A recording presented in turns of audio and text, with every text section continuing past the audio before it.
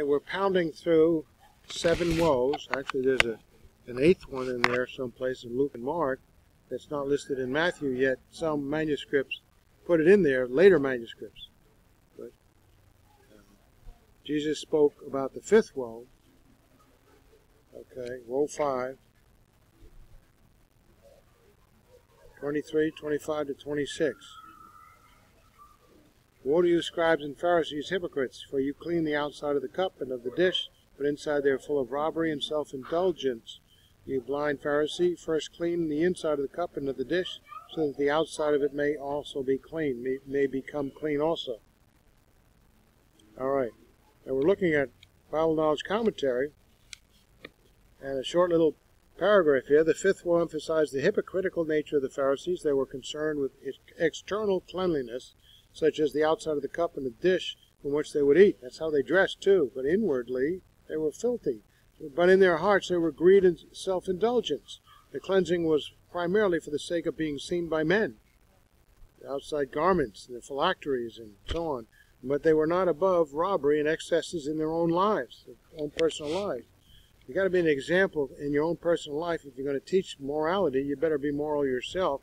And this is teach from the, the uh, law of Moses, which had all kinds of uh, rules and regulations that you were to abide by in order to be a, a, good teacher of it. If cleansing would take place internally, their outside would also be affected. That's what Bible Knowledge Commentary says. Now let's see what Expositor says. They tended to digress. The most common interpretation of these verses is that Jesus begins with a metaphor of the cup and dish reveals his non metaphorical concerns in the words of verse 25, then returns to his metaphor in verse 20. I don't know where to get this. Let's go back and see. We're looking at row 5 on my worksheet here, which I can change. Row 3. row 5. And look at expositors. Let's see if I can get it. Oops. Don't spell it right, I'm not going to get it right. W O E F I V E. Okay. Go backwards. There it is. Okay. Look at expositors. Now, I don't like. Maybe I, I looked at this. Here it is. Yeah. See now three three dots here. I read through expositors. I didn't like what I just read. Here's my worksheet. I took it out. The Pharisees have been occupied with external religion instead of that of the inner person. All this nonsense here. The most common interpretation of these, I don't care what the most common interpretation of them, what's the correct interpretation? Says I took all of that out because I don't need to discuss things that aren't in view. Two people are arguing about what the verse means. I don't want to hear it. What did Jesus say and what's an accurate observation of what he said? So let's go back to my worksheet. The Pharisees have been occupied with external instead of that of the inner person.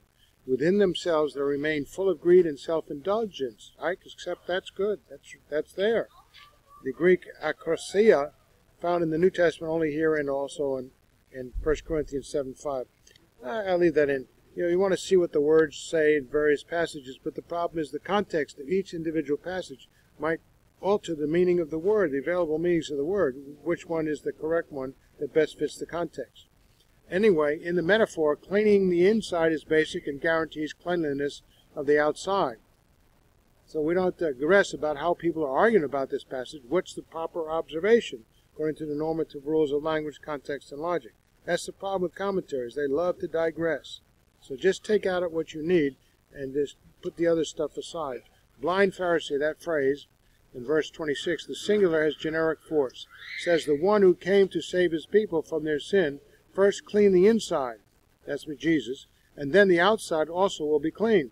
Inside does not here encourage privatized pietism, but total moral renewal in terms of justice, mercy, and faithfulness. The outside, the bits of religious observance easily seen by men, will then take care of themselves. Let's take a look at the verses again. This is what Jesus said. See, look at the words and then come up with your interpretation that applies directly to the words and not somebody else's interpretation. Woe to you, scribes and Pharisees, Jesus said. Pharisees, hypocrites, for you clean the outside of the cup and of the dish, but inside they are full of robbery and self-indulgence. He's referring personally to them. You blind Pharisee, first clean the inside of the cup and of the dish, so that the outside of it may become clean also. So that's see succinct. Now we go to woe six. I'm staying on my worksheet because I went through this last night and filtered out the stuff that would be confusing or out of context. Woe 6. Woe to you, scribes and Pharisees, hypocrites, for you are like whitewashed tombs, which on the outside appear beautiful, but inside they are full of dead men's bones and all uncleanness. So you, too, outwardly appear righteous to men, but inwardly you are full of hypocrisy and lawlessness. Very similar to 5. so, Bible Knowledge Commentary. They're, they're shorter than expositors. Sometimes they're spot on. In the sixth woe, Jesus continued the thought of the previous statement about external purification. The fifth woe stressed their actions, the sixth their appearances. Oh, okay, good, good point. He called the teachers of the law and the Pharisees whitewashed tombs. The custom then was to keep tombs painted white on the outside so they would appear beautiful, but inside the tombs was the decaying flesh of dead people. Similarly, while the Pharisees appeared beautiful on the outside because of their religious conformity, they were corrupt and decaying inside. They were full of hypocrisy and wickedness. Uh, anomias actually literally means nomias is law, a nomius is lawlessness, not lawful. So expositors, what does it say here? Be careful with. It's a great. I would get it and use it. You can get it online, but the problem with that is they do a lot of digression. During the month of Adar, just before Passover, it was customary to whitewash with lime, lime graves or grave sites that might not be instantly identified as such, in order to warn pilgrims to steer clear of the area and avoid ritual uncleanness from the contact with corpses. Even nearby, it was considered unclean, and you had to go and do ceremonial washings.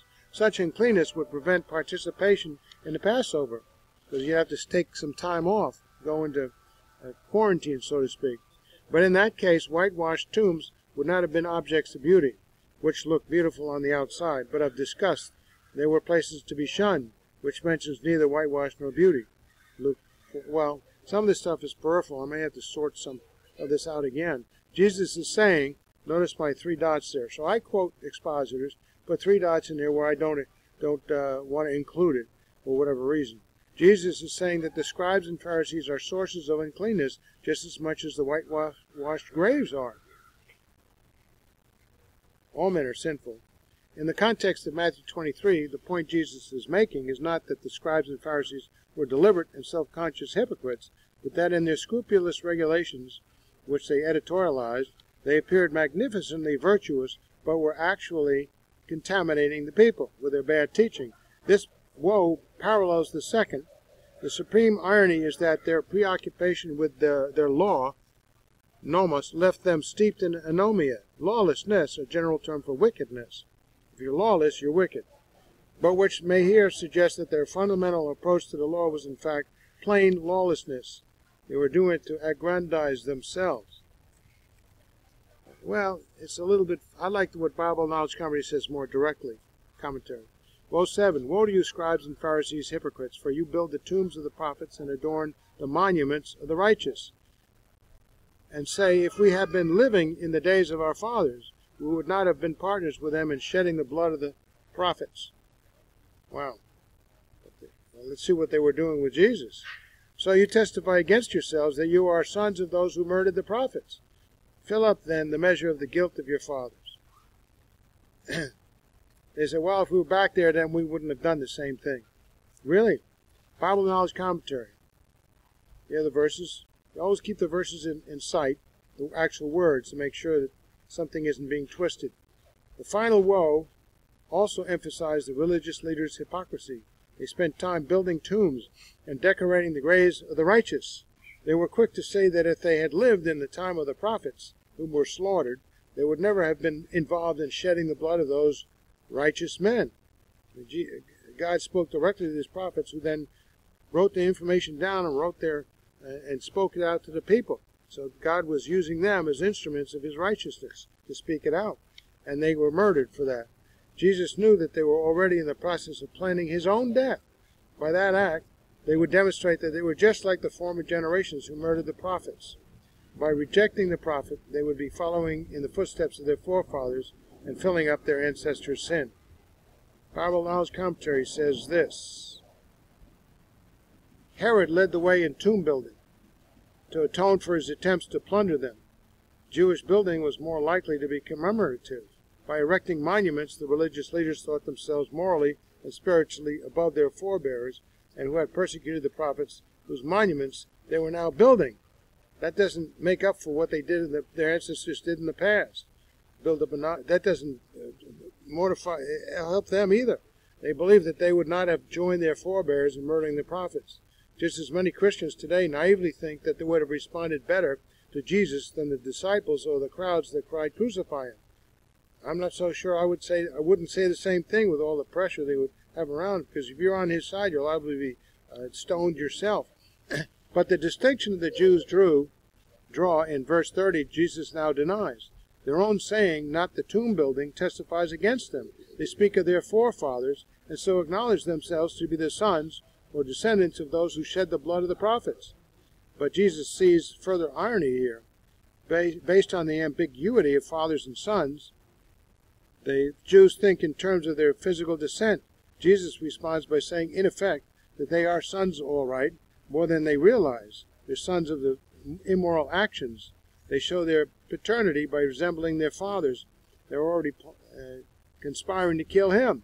While piously claiming to be different, they are already plotting ways to put an end to Jesus. so the conclusion is defiant and ironical. The idea behind the measure of the sin is that God can only tolerate so much sin, and then, when the measure is full, he must respond in wrath. So it's just a matter of time, and it was. And then we go to AD 70, where all of Jerusalem was destroyed by Rome. There's only so far that God will go, gives you plenty of chance by his grace, and then there comes the wrath. So, conclusion to this. Here are the verses Matthew 23 and 33 to 36. Jesus said to the scribes and Pharisees, You serpents, you brood of vipers, how will you escape the sentence of hell? He's telling them that they're not preaching the gospel and they're under condemnation already. Therefore, behold, I am sending you prophets and wise men and scribes. Some of them will you will kill and crucify. Speaking of his disciples, which are very close once he ascends and the church begins.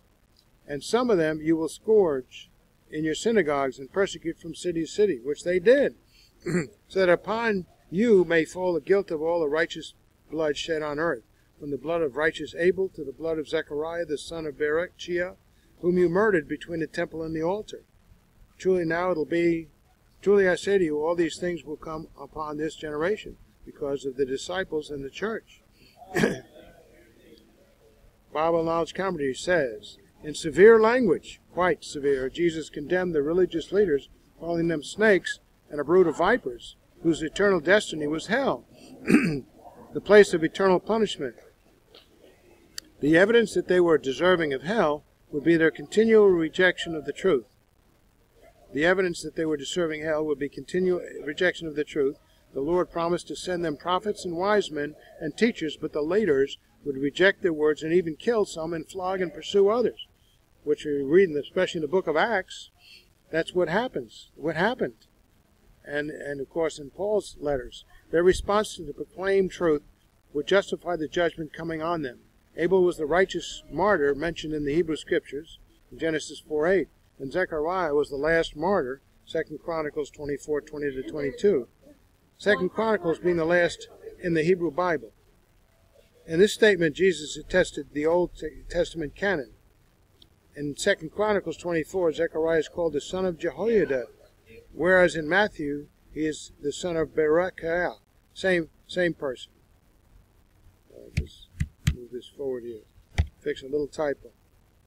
Son of, by the way, can mean descendant. Thus Jehoiada, being a priest, could have been Zechariah's grandfather.